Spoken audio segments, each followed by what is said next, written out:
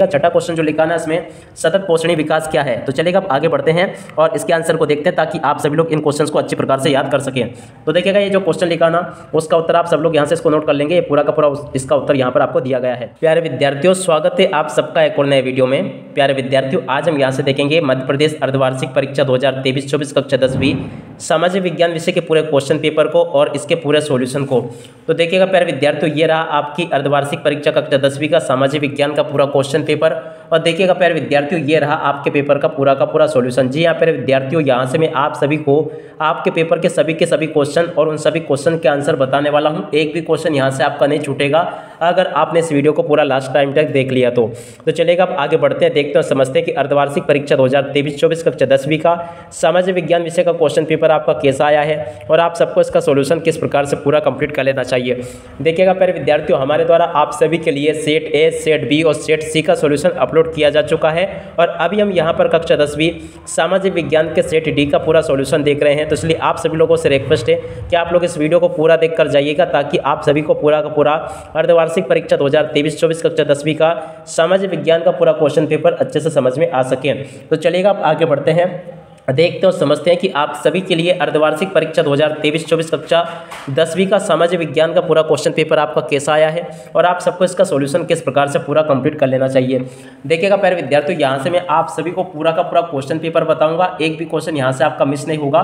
तो चलिएगा आप आगे बढ़ते हैं। समझते हैं आप सभी के लिए अर्धवार्षिक परीक्षा कक्षा दस के सामाजिक विज्ञान विषय के पूरे क्वेश्चन पेपर को और इसके सोल्यूशन को। तो देखिएगा, प्यारे विद्यार्थियों, ये रहा आपका पूरा का पूरा क्वेश्चन पेपर आप लोग यहाँ से इसको देख ले और अच्छे से समझ भी ले। देखिएगा, जिसमें कि प्रश्न नंबर एक लिखा, सही विकल्प चुनकर लिखिए। आप सही विकल्प किस प्रकार से आपको चुनकर लिखना पहला क्वेश्चन किस राज्य ने संयुक्त वन प्रबंध का पहला प्रस्ताव पास किया? तो देखिएगा, इसका उत्तर आ जाएगा ओडिशा।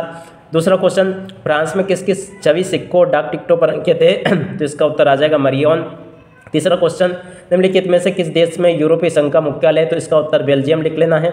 चौथा क्वेश्चन, मानव विकास में भारत में किस राज्य की स्थिति बेहतर है? तो देखिएगा, इसका उत्तर आ जाएगा केरल। पांचवा क्वेश्चन, मध्य प्रदेश में स्थानांतरित कृषि को निम्नलिखित में से किस नाम से जाना जाता है? तो देखिएगा, इसको धैया के नाम से जाना जाता है।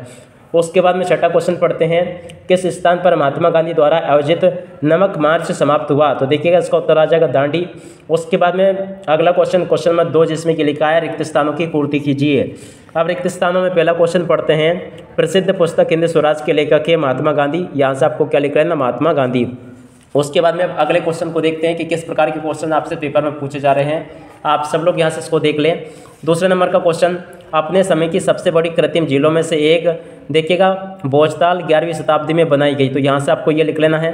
अगला क्वेश्चन श्रीलंका में तैंतीस प्रतिशत लोग तमिल भाषा बोलते हैं। तो देखिएगा, यहाँ पर आपको तैंतीस नहीं, बीस प्रतिशत लिखना होगा। चौथा क्वेश्चन नगर निगम का प्रमुख कहलाता है। तो देखिएगा, इसको कहते हैं महापौर। अब इसके बाद में पाँचवा क्वेश्चन बैंकों में जमा धन खाता धारक को मिलता है। तो देखिएगा इसका राइट आंसर आ जाएगा। यहाँ पर आपको लिख लेना ब्याज। उसके बाद में अगला क्वेश्चन क्षेत्र में श्रमिक वस्तुओं का उत्पादन नहीं करते। तो देखिएगा, यहाँ पर आपको तृतीय क्षेत्र वैसे लिख लेना है। और इसके बाद में अगले क्वेश्चन को देखते हैं क्या लिखा है। देखिएगा, सही जोड़ी बनाकर लिखना है। यहाँ से आप सब लोग इसको देख लेंगे। तो देखिएगा, सही जोड़ी में आपको क्या लिखना पहला क्वेश्चन पढ़ते हैं। रिहंद। रिहंद की जोड़ी का मिलान सोनरदी से कर लेना है। स्टेपलर इसके जोड़ का मिलान हो जाएगा रेसो के हिसाब से उनको चाटना, संविधान की व्याख्या न्यायालय शिशु मृत्यु दर सबसे कम केरल में होती है। श्रीलंका में गृह युद्ध का अंत 2009 में हुआ। नाबार्ड की स्थापना उन्नीस सौ बयासी में हुई। तो यहाँ तक के क्वेश्चन आप लोग देख लें और अच्छी प्रकार से इनको समझ भी लेंगे। अब इसके बाद में हम आगे बढ़ते हैं। अगले क्वेश्चन को देखते हैं। कि आगे आपसे किस प्रकार के क्वेश्चंस पूछे जाएँगे। क्वेश्चन नंबर चार को देखते हैं। सत्य सत्य इसमें आपसे पूछे गए हैं। तो पहला क्वेश्चन पढ़ते हैं। भारत का सत्तर प्रतिशत धरातली जल क्षेत्र प्रदूषित है। ये बिल्कुल आपका असत्य होगा। दूसरा क्वेश्चन अठारह सौ इकसठ में एवेन्युअल द्वितीय को एकीकृत इटली का रास्ता घोषित किया गया। बिल्कुल सत्य होगा। तीसरा क्वेश्चन औद्योगिकीकरण के बाद ब्रिटेन के कारण ब्रिटेन के कपास का उत्पादन घटने लगा। ये भी सत्य होगा। चौथा क्वेश्चन संविधान द्वारा बाईस भाषाओं को सातवीं अनुसूची में रखा गया। बिल्कुल असत्य होगा। उसके बाद में पांचवा क्वेश्चन एक बहुराष्ट्रीय कंपनी वे है जो केवल अपने राष्ट्र के लिए उत्पादन करती है। बिल्कुल असत्य होगा। छठा क्वेश्चन सार्वजनिक क्षेत्र के लोक कल्याण की भावना नहीं होती है तो ये भी बिल्कुल आपका असत्य हो जाएगा। अब इसके बाद में आप सब लोग यहाँ से इन क्वेश्चन को देख लेंगे। क्वेश्चन नंबर पाँच इसमें दिया गया है, पूरे देश के लिए बनने वाली एक सामान्य सरकार को क्या कहते हैं? तो देखिएगा, इसको कहते हैं केंद्र सरकार। उसके बाद में दूसरा क्वेश्चन पोकरण जहाँ भारत ने परमाणु परीक्षण किए, किस राज्य में है? तो देखिएगा, राजस्थान में है। अगला क्वेश्चन नए युग का पहला प्रतीक किस उद्योग को माना जाता है? कपास को माना जाता है। और इसके बाद में अगला क्वेश्चन स्वराज पार्टी का गठन किसने किया? तो देखिएगा, इसका उत्तर आ जाएगा, किसने किया था? चितरंजन दास ने। उसके बाद में अगला क्वेश्चन पढ़ते हैं, पाँचवें नंबर का, जिसमें कि लिखा है, भांगड़ा नांगल परियोजना किस नदी पर है? तो देखिएगा, सतलज नदी पर है। छठा क्वेश्चन गुजरात का सबसे महत्वपूर्ण तेल क्षेत्र कौन सा? तो देखिएगा, इसका राइट आंसर आ जाएगा, अंकलेश्वर। तो यहाँ तक कि आप सभी लोग इन क्वेश्चन को देख ले समझ ले पूरा का पूरा।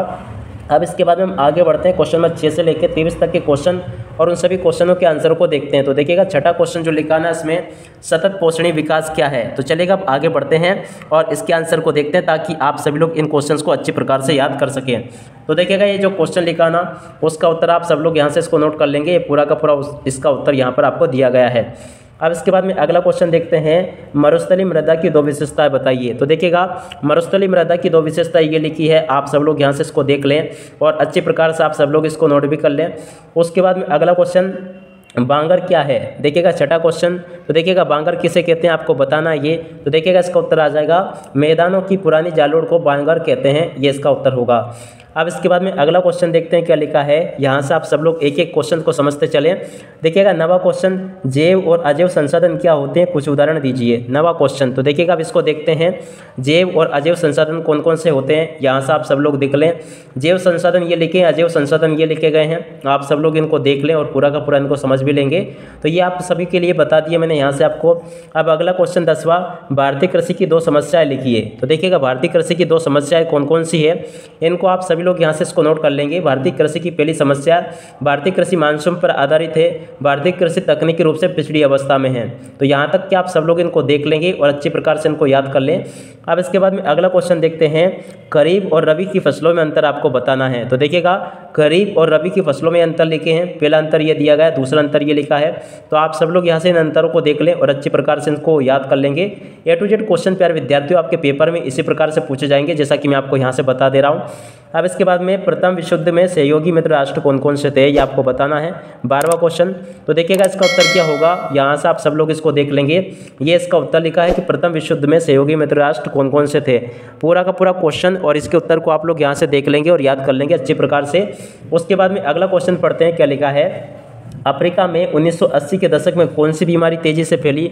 तो देखिएगा रिंडर पेस्ट नाम की बीमारी तेज़ी से फैली थी। यहाँ से आप सब लोग इसको नोट कर लें। और उसके बाद में अगला क्वेश्चन गुमास्ता कौन थे? चौदहवा क्वेश्चन तो देखिएगा इसका उत्तर क्या आ जाएगा। यहाँ से आप सब लोग देख लेंगे, ये पूरा का पूरा उत्तर लेगा कि गुमास्ता कौन थे? आप सब लोग यहाँ से इसको याद कर लें अच्छी प्रकार से। अब अगले क्वेश्चन को देखते हैं, क्या लिखा है? लेवल से क्या तात्पर्य है? जी यहाँ पे यार विद्यार्थियों, आपको ये लेवल का बताना कि लेवल से क्या तात्पर्य है। तो ये इसका उत्तर दिया गया पूरा का पूरा। इसको आप लोग अच्छी प्रकार से देख लेंगे और इसको याद कर लेंगे पूरा। अब इसके बाद में अगला क्वेश्चन पढ़ते हैं, क्या लिखा है? अर्थव्यवस्था के प्राथमिक क्षेत्र को उदाहरण से समझाइए। तो देखिएगा, अर्थव्यवस्था का प्राथमिक क्षेत्र कौन सा है, उसको आपको उदाहरण से समझाना है।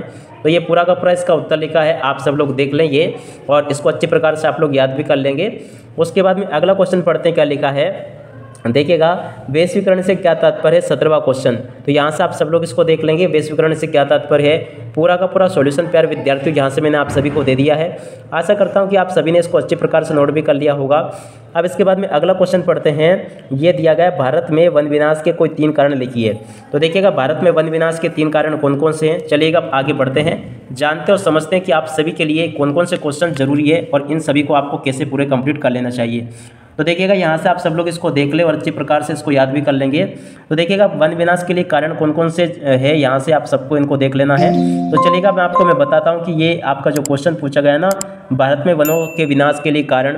तो चलिएगा आप आगे बढ़ते हैं और इस क्वेश्चन के आंसर को देखते हैं। तो देखिएगा, प्यारे विद्यार्थियों, आप सभी लोगों से अनुरोध है मेरा कि आप लोग इस वीडियो को पूरा देख कर जाइएगा, तभी जाके आपको सभी क्वेश्चन और उन सभी क्वेश्चन के आंसर समझ में आ पाएँगे। तो चलिएगा आप आगे बढ़ते हैं और इस क्वेश्चन के आंसर को देखते हैं। तो देखिएगा, इसका उत्तर ये मिल चुका है, आप सभी लोग यहाँ से इसको पूरा देख लें और इसको समझ भी लेंगे पूरा का पूरा। ए टू जेड क्वेश्चन प्यार विद्यार्थी मैंने यहाँ से आपको बता दिया, आप सभी लोग इसको अच्छी प्रकार से याद कर लें यहाँ तक का। अब इसके बाद में देखिएगा अगला क्वेश्चन पढ़ते हैं। ग्राम पंचायत के कार्यों का वर्णन आपको करना है। तो देखिए, अगर ग्राम पंचायत के कौन कौन से कार्य होते हैं, यहाँ से आप सब लोग इनको नोट कर लेंगे। ये ग्राम पंचायत के कार्य यहाँ पर आपको बताए गए हैं। उसके बाद में अगला क्वेश्चन पढ़ते हैं, क्या लिखा है? स्व सहायता समूह के तीन कार्य आपको बताने हैं। तो चलेगा आप आगे बढ़ते हैं और स्व सहायता समूह के कार्यों को देखते हैं। तो ये स्व सहायता समूह के कार्य दिए गए हैं। आप सब लोग इनको अच्छी प्रकार से याद कर लेंगे पूरा। अब इसके बाद हम आगे बढ़ते हैं, अगले क्वेश्चन को देखते हैं ताकि आप सबको पूरा का पूरा क्वेश्चन पेपर अच्छी प्रकार से समझ में आ सके। तो देखिएगा आप आगे आपका इक्कीसवां क्वेश्चन पूछा गया जिसमें कि लिखा है, गांधी जी ने असहयोग आंदोलन वापस लेने का फैसला क्यों किया? तो चलिएगा, अब इसके उत्तर को देखते हैं कि गांधी जी ने असहयोग आंदोलन को वापस लेने का फैसला क्यों किया था। ए टू जेड क्वेश्चंस बताऊँगा, प्यारे विद्यार्थियों, यहाँ से एक भी क्वेश्चन आपका यहाँ से मिस नहीं होगा। अगर आपने इसको पूरा देख लिया, जान लिया और समझ लिया तो। तो चलिएगा आप आगे बढ़ते हैं, समझते हैं कि गांधी जी ने असहयोग आंदोलन को वापस लेने का फैसला क्यों किया था। या फिर आप लोग इसके अथवा वाले क्वेश्चन को देख सकते हो, भारत में राष्ट्रवाद की भावना पनपने के किन्हीं तीन कारणों को आपको बताना है। तो चलिए अब इसके उत्तर को देखते हैं कि इनमें से कौन सा क्वेश्चन हम कंप्लीट करें ताकि आप सब लोग इसको अच्छे से परीक्षाओं में लिख आ सकें।